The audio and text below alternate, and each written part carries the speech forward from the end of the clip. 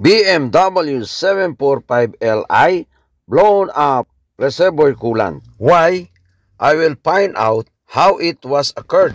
It was came by recovery and the owner of the vehicle wanted to know what was the cause of blown up reservoir coolant. Look at the reservoir coolant has been separated because of creating pressure in the cooling system.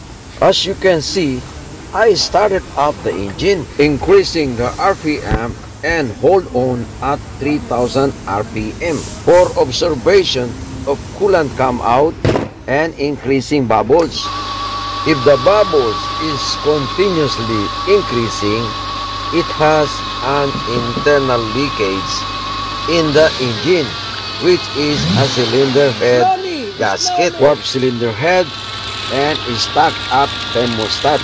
Newly coolant reservoir had been replaced in order to rectify the cause of creating pressure. I was observed that the radiator fan is inactive I was increasing the RPM in order to warm up the engine immediately and observe the fan operation without aircon on.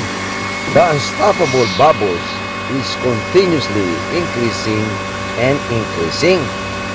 Due to out of budget, the owner of the vehicle approved only to replace the stuck-up thermostat. And besides, these days, the climate changed to a cold season. These days, it doesn't heat up the engine. It helps to cool down the engine instead. Even the radiator fan runs slowly and insufficient air blowing, it doesn't occur engine overheat because of cool weather conditions. The radiator fan operation is very weak.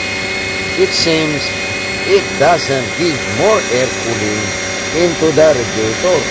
If the air doesn't cool down the hot coolant into the radiator, the hot coolant is continuously increasing and creates pressure to blow up the coolant reservoir. I was recommended to replace the said defective fan but the customer insisted later on.